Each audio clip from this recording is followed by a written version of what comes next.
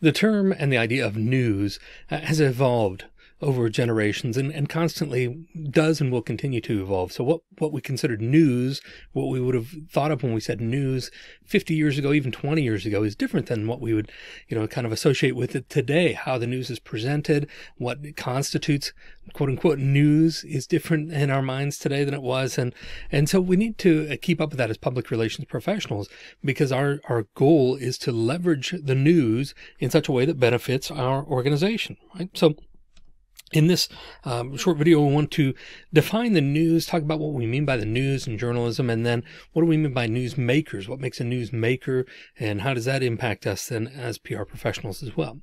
So let's start by talking about journalism. And what is journalism? Well, journalism is the activity of gathering, assessing, creating, and presenting news and information, very simply. So, you know, when you, when you do those things, when you gather, assess, create, and present news and information, you're engaging in journalism, right? And traditionally that has been a, a profession, and we've defined journalists uh, separately from other types of uh, professions and other types of things like that. So, but now we have what we see as, you know, a move away from, in some ways, that we still have traditional journalism, of course, but now we have also the rise of what we call citizen journalism, which basically just means anybody with a phone.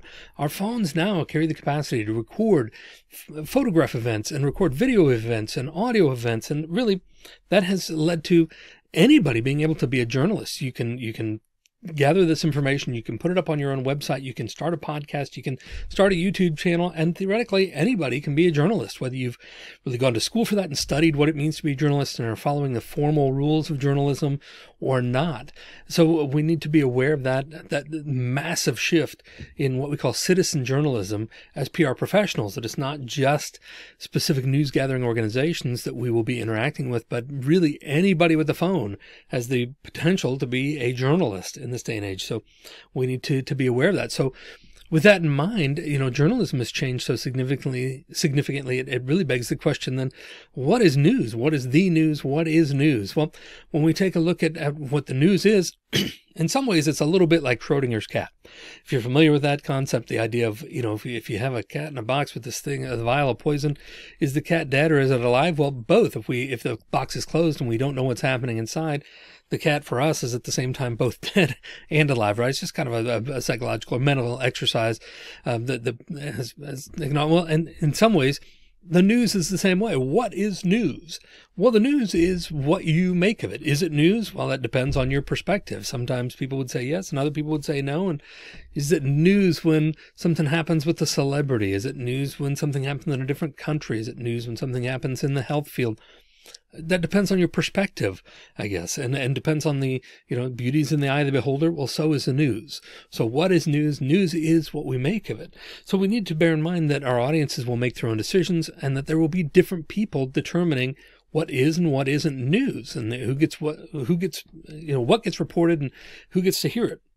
That's a function that we call gatekeeping, right? When we think of like these medieval castles, and you, you, see their structures and there's really just like the main entrance there, the one main entrance and the outer entrance, right? That has sometimes a drawbridge and sometimes a moat and sometimes a, a portcullis with the, with the thing that drops down, the gate that drops down to really funnel everybody in. And, and so that people can decide, those people can make a decision on who's getting in and who's not right? Who's allowed in and who's not. And that really is literally a gatekeeping function, right? They are keeping the gate, deciding what gets in and what doesn't we kind of do the same thing with the news at several different levels. So who are the gatekeepers in the news then? Well, uh, first and foremost, we are as public relations folks, we, you know, as people who, for our organization, we are gatekeepers what information is going to get out? What are we going to try and keep uh, from public view? Um, you know, to, to a large extent falls on us. We are gatekeepers in terms of what we report to the outside world and what information we, we emphasize and what information we share with the outside world. So, so you as a public relations person, media relations uh, professional are a gatekeeper will be a gatekeeper in that system and that function. So for our organization, we are, for all intents and purposes, gatekeepers ourselves. Certainly the media has a number of gatekeepers Not everything is going to make it in a news broadcast or in a newspaper or on a website or whatever it is.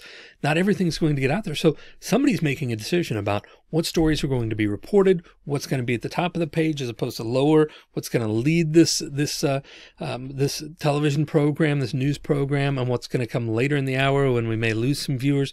So gatekeepers in the media decide what it is that, that gets out and what it is that's emphasized and what stories we're reporting on. You can see that and if you go to the, the difference in, you know, Fox News and NBC in terms of not just what they're talking about, but how they're talking about it. They are gatekeeping in that sense. They're, they're deciding what goes on, what spin they're going to put on it and so forth. So there are no shortage of gatekeepers in the media. That's certainly a massive function that the media that performs then is that gatekeeping function. But then finally, the audience are gatekeepers as well. They decide what information they're going to listen to, what information they're going to seek out, what channels they're going to watch. Again, we get stuck in these in modern times, we get stuck in these kind of echo chambers of, you know, people get stuck in the Fox News echo chamber and that's all they hear, or the MSNBC echo chamber and that's all they hear, or CNN or whatever their news source is, even if it's just, you know, Facebook or the late night TV shows that's what they hear. That's what they seek out. So in essence, they are gatekeeping by eliminating those other news sources and focusing in on only what is being made available through those particular ones that they choose. So, and what we, so what we let in to our lives and how much we're paying attention to it. Those are gatekeeping functions that the audience performs. So there are gatekeepers at, at, lots of different levels in the transmission and, and reception of news, right? Starting with us as public relations, media relations people and through the media, and then even into the audience themselves. So gatekeeping happens at all different levels. There are lots of gatekeeping actions too that have been identified, and some primary ones that include things like agenda setting. Agenda setting is a classic communication theory that says the media doesn't tell us what to think so much as what to tell as they tell us what to think about. So it's not so much that the media is telling us, here's what you have to believe and here's what you should think about this. It's so much as they're telling us, here's what ought to be on your mind. And that, of course, is going to lead us toward thinking about certain things over others and ignoring certain things and taking on a particular perspective. But, you know, it's not the media telling, telling us, here's what's true, here's what's not, although they're edging closer and closer to that, of course, but, but really it's the media telling us what to think about rather than what to think. That's the agenda setting function. And that happens through gatekeeping. That happens through, you know, telling us, you know, what stories are worthy of our time and what they're going to share with us and what they're not going to share with us, what they're going to eliminate and leave out because they have X amount of column inches or X amount of time in their program or, or X amount of attention that they're going to get from the audience. So they, they prioritize different things to tell us this is what you should be thinking about, not these other things so much. These are less important things. So the media certainly performs that agenda setting function in a large way. You also have what we call media framing, um, which is, again, look at the difference between how Fox News and MSN, NBC report a particular story. They're going to maybe be reporting on the exact same story, the major news event of that moment, but they're going to do so in a very different way. They're going to have a different spin on it. They're going to provide very different perspectives. And uh, so we need to be aware of that, though, that, that the media then another type of gatekeeping function is they are choosing a perspective and a spin to put on that story. Now, you know, hopefully more traditional news outlets are really just giving it to us straight and not including that that type of perspective but uh, but uh, but a lot of modern media is you know again putting their own spin on it. They're deciding how to frame it. How are they going to talk about this? Are they going to talk about it like it's a positive thing or a negative thing? Who are they going to talk to about this? And and what perspective are they going to bring on that? So there's lots of media framing activities happening in the gatekeeping functions as well. And then finally, we have focusing events that, that operate as gatekeeping actions, uh, meaning major events. What is it that we're going to talk about? Is there a massive a mass shooting event? Certainly, that's going to gather the attention of the entire nation, and and uh, and so so things we're going to talk about there. Or is there a you know a Supreme Court justice trying to be appointed, and and uh, so they're going to talk about that a great deal. And so um, these major focusing events then will act as gatekeeping actions as well, and then different people will put their own perspective on it in terms of how they're going to talk about it and what elements of that they're going to present but they will largely be focused on these massive focusing events when they when they occur.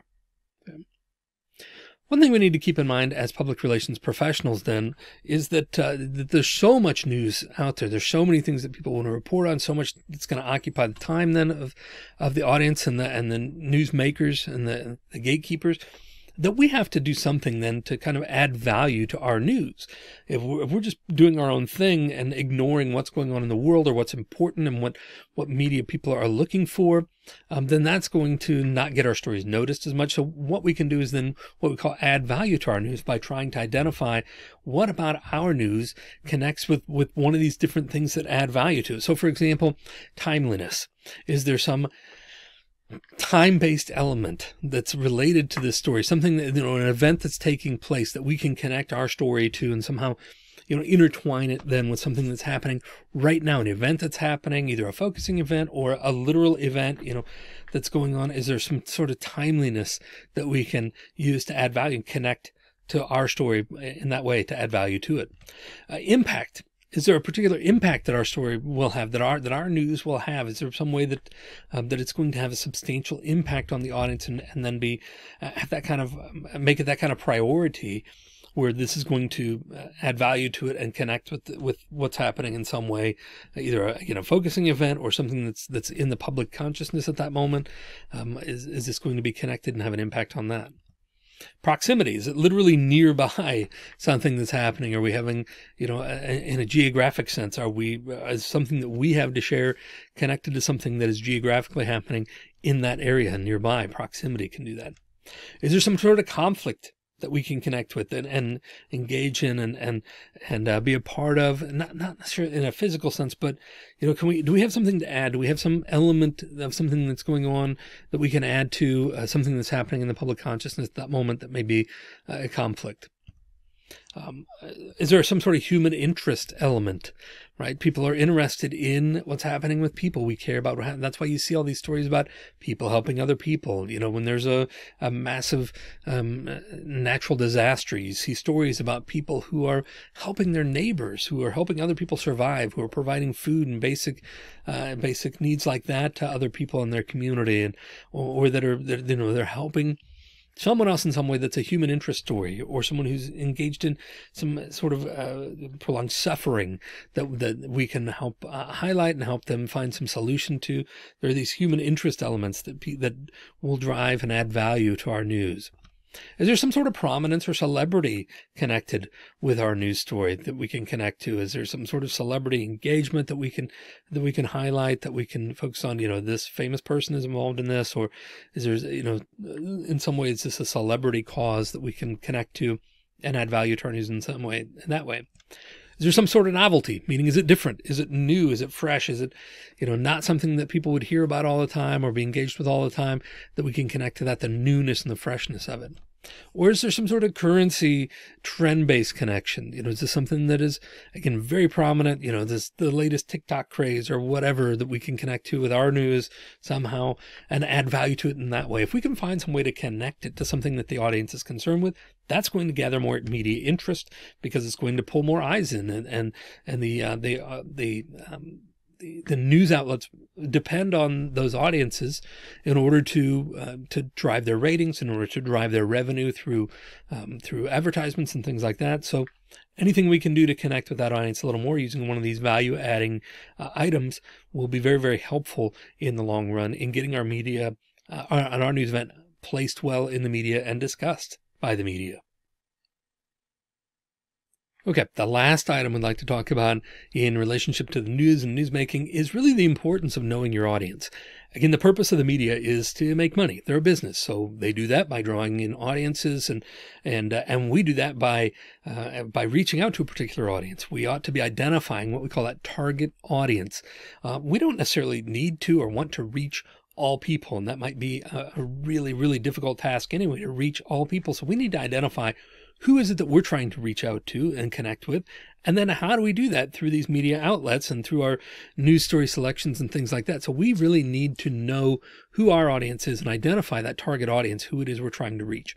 So we do that by things like uh, understanding the demographics of our audience, right? Demographics, things like the general age range. And, you know, is there a particular income category that we're looking at, a particular, you know, uh, socioeconomic profile that we want to see? Is there a particular geographic uh, element that we're looking at. If you're not a nationwide organization, if you're a very local organization, that makes a difference. You don't need to reach these national news outlets. You'll want to focus on your local one. So what are the demographics that make up our audience? What's their general, you know, things like age, occupation, um, race, uh, socioeconomic background, things like that, that we can use to, to then shape our news stories and shape the identification of the news outlets that we're trying to reach, those news makers that we're trying to reach. We want to identify geography. I, can, I mentioned this just now, but uh, but you know, is this a local organization? Is it a national organization? Is it an international organization? That's going to help define our audience and then define what media outlet would be best placed to reach that particular audience. Is there a specialization um, of our audience? Are we a, an industry group, for example? If you're in the if you're in an organization that that creates healthcare products, then you'll want to focus on you know healthcare organizations and healthcare institutions, right? You don't need to reach that general audience if you're not a commercial organization. Um, so is there some sort of specialization? Do you focus on, you know, some particular industry or some particular group? Are you, you know, trying to reach people who play Dungeons and Dragons? Then, then you need to find a way to, to do that and know who your audience is, know what they're interested in. So that'll shape your, the news you're trying to, to create and the way that you do that. And then the news outlets that you reach out to. And then is there a particular format? Again, sometimes, you know, this, we need to identify does our audience focus on a print media or are they podcast people or do they watch the news? And if so, what outlets and identify very specifically what kind of format and then how can we best reach them? If we're if we're if we're reaching out to podcasts we know that our audience listen to podcasts then creating a bunch of print you know uh, infographics and things like that is not going to be helpful because podcasts are an audio format right? That then and so we don't need to create a bunch of imagery to go along with this. What we need to do is create quality audio and find outlets for that. So we need to understand what format our audience is, is uh, interested in and how we can best utilize then that format in producing the news that we create. So when we think about the news, remember we're focusing on a particular audience, and uh, and that audience sometimes could be the general public. That audience sometimes is the newsmakers themselves, the news media themselves, and we need to consider at all those levels what can we best do to pull in the specific people that we're looking for. We don't have to try and please all people all the time or reach all people all the time. Uh, in fact, there's an old saying that if you if you speak to everyone, then you speak to no one because you're not individualizing, you're not focusing enough that's going to grab the attention of the people that you really want to speak to. So we need to consider that in the news as well. And when we're thinking about news and newsmaking uh, from a public relations perspective, that we're we are focused on a specific type of outlet, specific type of audience. And, and so we need to uh, have that in mind as we create that and try and add value to the news that we are, we are presenting and, and, uh, and placing in the public. Hope this helps you understand the news and newsmaking function in public relations a little bit better. Please don't hesitate to, to, if you have any questions, shoot me an email. I'd be happy to hear from you there and, and, discuss it with you there. In the meantime, I hope you do take on a new perspective on the news, news gathering, and what that means for you as a public relations uh, professional, a media relations professional, and how you can best use that to serve the purposes of your organization.